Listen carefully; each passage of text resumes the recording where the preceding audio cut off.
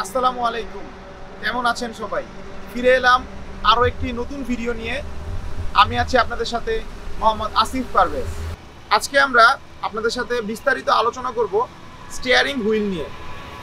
আশা করি আমার এই ভিডিওটি দেখার পর আপনাদের স্টিয়ারিং হুইল নিয়ে যে সমস্যা আছে, তার অনেকটাই সমাধান হয়ে যাবে। যারা একদমই নতুন, তাদের সাধারণত দুটি ভুল হয়ে থাকে। একটি হচ্ছে স্টিয়ারিংয়ের কন্ট্রোল রাখতে পারে না এবং দ্বিতীয়টি হচ্ছে স্টিয়ারিং ঘুরাতে গেলে বা ইউ টার্ন করতে গেলে হাত প্যাচ খেয়ে যায় লাইক এরকম। সো আমি আপনাদেরকে আজকে এই দুইটা প্রবলেমের মোটামুটি সমাধান দেওয়ার চেষ্টা করব। আশা করি আমার এই ভিডিওটি দেখার পর আপনাদের এই প্রবলেম দুটো অনেকটাই সমাধান হয়ে গেল। আসলে স্টিয়ারিং কিন্তু কয়েকভাবে ধরা যায়। আপনি চাইলে দুই হাতেও চালাতে পারেন গাড়ি, দুই হাতে স্টিয়ারিং ধরতে পারেন, অথবা এক হাতেও ধরতে পারেন। বাট আমি একদম নতুন যারা তাদের জন্য সাজেস্ট করব, অবশ্যই দুই হাতে চালানোর চেষ্টা করবে। এবং কোন পজিশনে ধরলে স্টিয়ারিংটা সোজা থাকবে বা হাত প্যাচ খেয়ে যাবে না, এই বিষয়গুলো নিয়ে এখন আমি আলোচনা করব। আমি প্রথমে বলে রাখি স্টিয়ারিং ধরার কিন্তু একটি নিয়ম আছে। সেটি হচ্ছে আপনারা লক্ষ্য করুন স্টিয়ারিংটা কিন্তু একদম গোল, অনেকটা ঘড়ির মতো। আপনাদের প্রথমে যারা একদম নতুন, তারা আসলে কীভাবে স্টিয়ারিংটি ধরবেন? আপনি ঘড়ির মতো জিনিসটা রিয়ালাইজ করুন।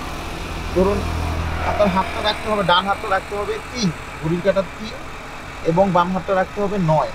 That means three is two nine এবং এটা যদি হয় তিন, এটা যদি হয় নয়, আমার এইখানে ধরতে হবে বারো। এই জায়গাটা আমি বারো মনে করব। এই জায়গাটা আমি ছয় মনে করব। বারো আর ছয় এটার এই পাশে আপনার ডান হাত যাবে না এবং বারো আর ছয়ের বাম হাতটা এই পাশে আসবে না। তা আমি কীভাবে ঘুরাবো? ধরেন আমি গাড়িটা ইউটার্ন করতেছি, বা ডানে ঘুরাচ্ছি, তখন এই বারো থেকে টেনে হাতের এই এই হাতের ভিতর দিয়ে কিন্তু স্টিয়ারিংটা ঘুরবে। বারো থেকে টেনে আমি ছয়তে নিলাম। দেন এই হাত দিয়ে আবার উপরের দিকে দিলাম, ছয় থেকে বারোতে। এই হাত বারোর পর আর যাবে না। এরপর আবার এই বারো থেকে ডান হাত উপরে নিয়ে আবার নিচের দিকে দিলাম। তারপর এখান থেকে আবার উপরে দিলাম, আবার নিচে দিলাম। ওকে আবার আপনি যখন নাকি সেম কাজটি করবেন দেখেন, এই বারো থেকে বামে কাটতেছি এখন। বামে বামে ঘুরাচ্ছি, চাকা। বারো থেকে টেনে আমি ছয়ে আনলাম। তারপর এখান থেকে আমি কি করতেছি? এই ডান হাত ডান হাত নিয়ে আবার বারোতে দিলাম। আবার হাত উপরে নিয়ে আবার নিচে আসলাম, আবার উপরে দিলাম। জাস্ট এইভাবে ঘুরালে বা আপনি যদি এই রুলসটা ফলো করতে পারেন, নতুন অবস্থাতে অভ্যাসটা করতে পারেন, তাহলে আমি আশা করি আপনার হাত প্যাচ খেয়ে যাবে না। অনেকে কি করে? ধরেন এরকম ত্রিশ টু নাইন রেশিওতে ধরছে ওকে কিন্তু যখন আমি স্টিয়ারিং ঘুরাতে যাই, তখন এই যে এরকম হাত প্যাচ খেয়ে যায়। তো আশা করি আপনি যদি আমার এই রুলসটা ফলো করেন, আপনার হাতটা সহজে প্যাচ খাবে না। তো এটা গেল হাত প্যাচ খেয়ে যাওয়ার একটা সমাধান। এবং আমি বলি, ধরেন আমার গাড়িটি হচ্ছে এখন পাওয়ার স্টিয়ারিং সেজন্য আমি থ্রি টু নাইনে ধরছি। আপনার গাড়িও যদি পাওয়ার স্টিয়ারিং হয়, তাহলে আপনিও থ্রি টু নাইনে ধরার চেষ্টা করবেন। তিন, নয়। ডান হাত থাকবে তিনে, বাম হাত থাকবে নয়। এখন আমি বলি, ধরেন আপনার এই স্টিয়ারিংটা পাওয়ার না ম্যানুয়াল হ্যাঁ ম্যানুয়াল স্টিয়ারিং অথবা একটু বড় গাড়ির স্টিয়ারিং সেক্ষেত্রে আপনি ধরবেন টেন ইস টু টু দশ আর দুই, এই মাপে ধরবেন। এবং আমি এখন বলি যে অনেকেই আছেন হ্যাঁ এক হাতে গাড়ি চালায়। তো এক হাতে গাড়ি চালাতে অনেকেই কমফোর্ট মাঝে মাঝে আমিও চালাই। সেক্ষেত্রে আমি সাজেস্ট করব যে এক হাতে চালালে যখন স্পিড কম থাকবে বা আপনি কোনো জায়গা থেকে ইউ টার্ন করতেছেন, তখন আপনি এক হাতে স্টিয়ারিং এভাবে ঘুরাতে পারেন। হ্যাঁ এভাবে ঘুরাতে পারেন। কিন্তু যদি স্পিড অনেক থাকে, ধরেন আশি, নব্বই, একশো সেই ক্ষেত্রে আমি অবশ্যই অবশ্যই সাজেস্ট করব, আপনারা ভুলেও এক হাতে গাড়ি ধরবেন না। আপনি চল্লিশ, পঞ্চাশ এক হাতে চালাচ্ছেন, আপনি মোটামুটি এক্সপার্ট ওকে ফাইন চালান। কিন্তু যখনই আপনার স্পিডটা আশি ক্রস করবে, তখনই সাথে সাথে স্টিয়ারিংটা দু হাতে ধরবেন। এটার পিছনে একটা কারণ আছে।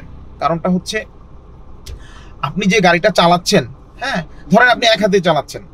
এখন হতে পারে যে কোনো সময়, যে কোনো মুহূর্তে, যে কোনো সিচুয়েশনে আপনার গাড়ির চাকা পাঞ্চার হয়ে যেতে পারে বা একটা চাকা ব্লাস্ট হয়ে যেতে পারে।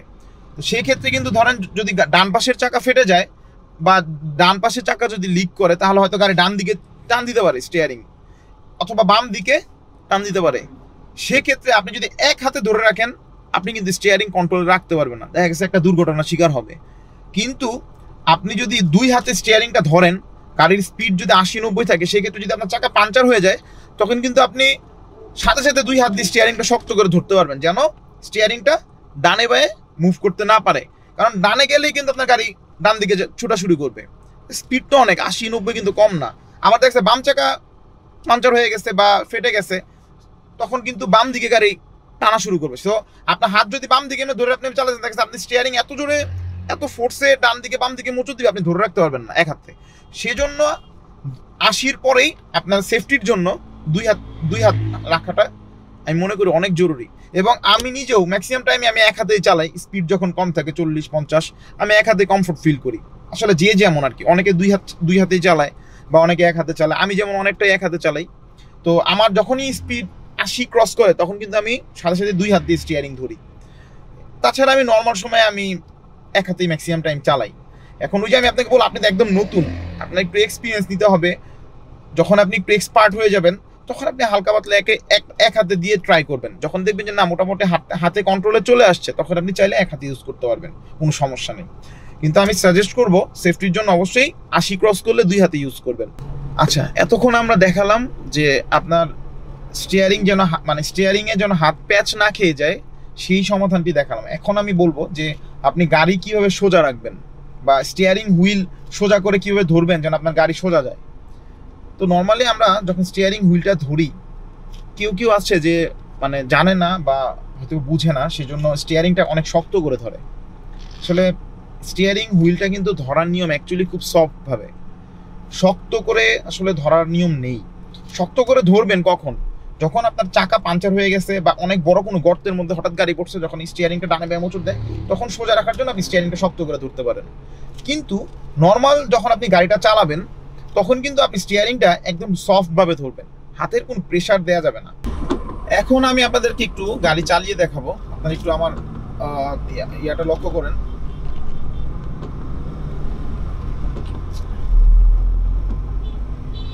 দেখেন, আমি স্টিয়ারিংটা একদম সফট ভাবে সোজা ধরে রাখছি।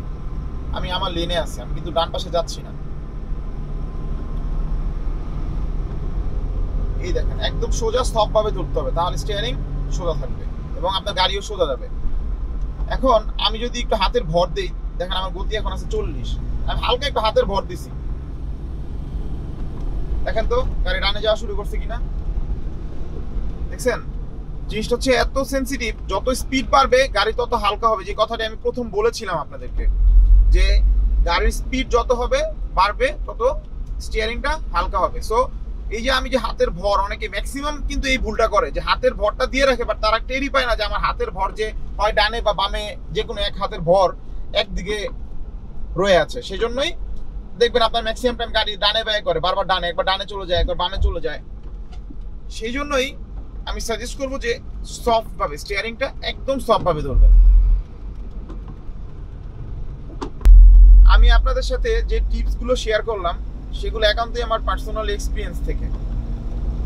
যদি কারও কোনো কিছু ভুল মনে হয়, বা আমার কোনো স্টেটমেন্টে যদি আপনাদের কোনো কিছু ভুল মনে হয়, তাহলে আপনারা ইগনোর করতে পারেন চাইলে। এবং আপনার যেভাবে কমফোর্ট ফিল হয়, আপনি সেভাবেই ট্রাই করতে পারেন। আজকের ভিডিওটিতে আপনাদের যদি কোথাও কোনো কিছুতে বুঝতে অসুবিধা হয় বা কোনো কিছুতে কোনো কিছু জানার থাকে বা জিজ্ঞাসার থাকে, অবশ্যই আপনারা আমাদেরকে কমেন্ট করে জানাতে পারেন। আমরা ইনশাল্লাহ আপনাদেরকে একটা সলিউশন দেওয়ার চেষ্টা করব।